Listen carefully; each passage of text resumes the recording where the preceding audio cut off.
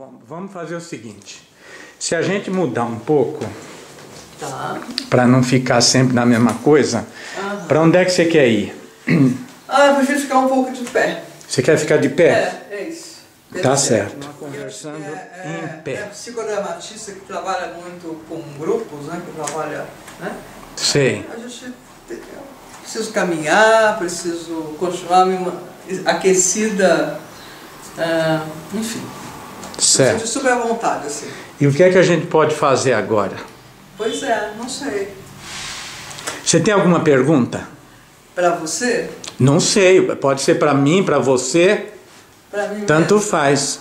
Ok.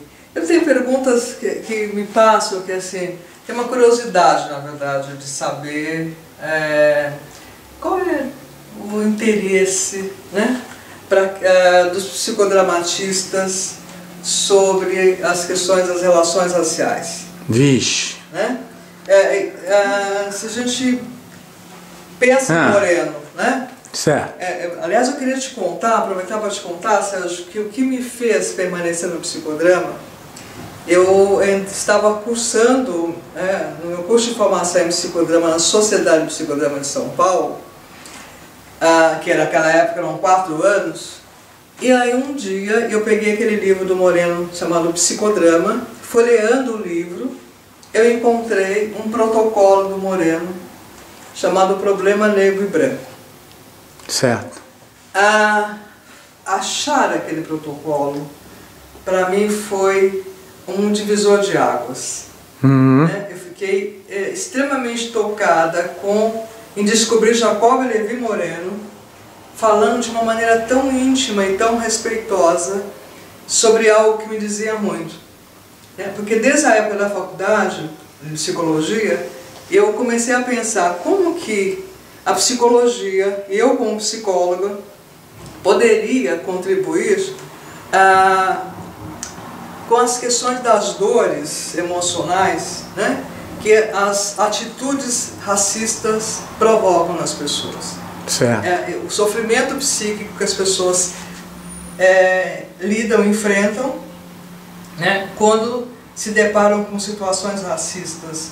E infelizmente, no nosso caso, enquanto brasileiros, a todos os dias, a todo momento, sofremos ações racistas. Ah, então eu tinha essa questão, né, dessas dores emocionais. Como é que podemos trabalhar? Como podemos Uhum. ajudar as pessoas?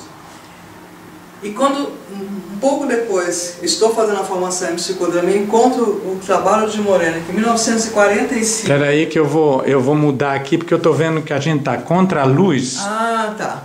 Então, Quando eu encontro o trabalho do Moreno, Ah, em assim ficou- 45, ah, é, com aquele casal negro que ele convida para o palco e eles levam para o palco psicodramático a todo o drama que eles viviam, é, eu me senti extremamente identificada com aquelas falas. Né? Então eu é por aí.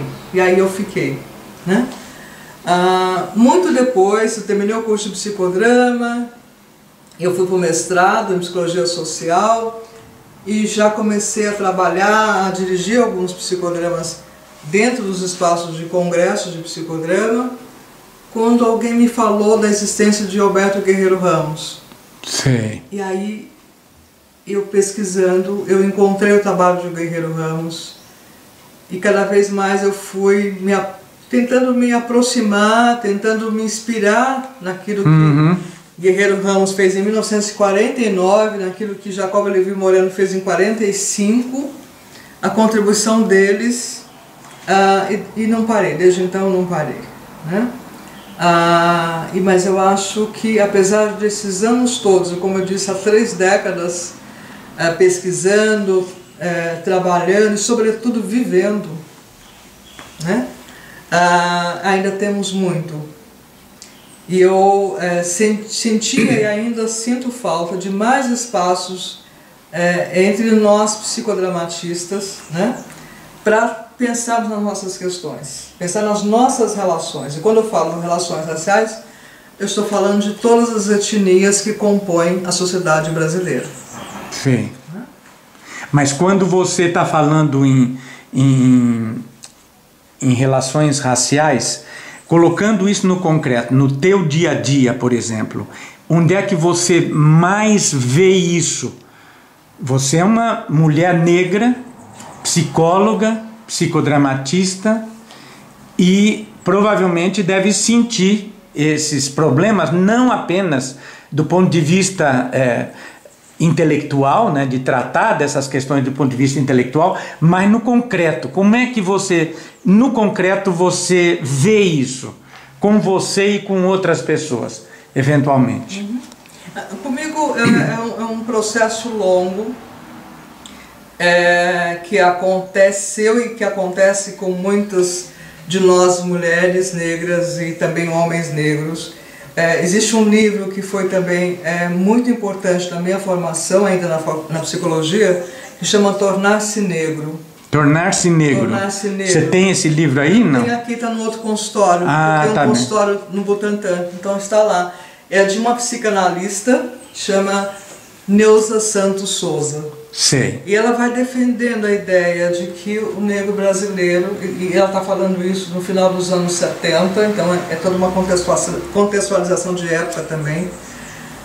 É, ele vai se tornando negro no sentido de que as referências até então, ainda hoje, infelizmente, temos alguns avanços, mas na, na, especialmente nessa época, os nossos, as nossas referências né, é, negras eram poucas, pouco conhecidas para a maioria das pessoas. Né? Uhum. Nós tínhamos que buscar, nós não víamos isso nas escolas, uh, nenhuma das, da, das instituições às quais nós buscávamos né, para sermos atendidos, por exemplo, ter professora negra, ter médicos negros, ter profissionais outros diversos negros, a gente não, não localizava isso. Então, é todo um trabalho de resgatar, né, e nós temos uma literatura imensa, né, escrita por homens e mulheres negros que estão é, ainda para serem descobertas, Sim. reencontradas e, re, e lidas para a maioria das pessoas. Né?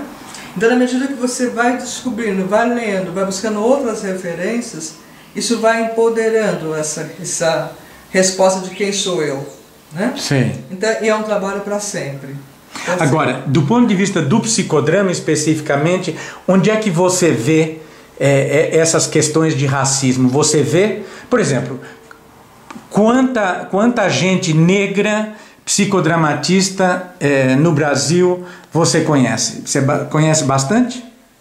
Conheço poucos e dá para contar ainda no, nos dedos das mãos.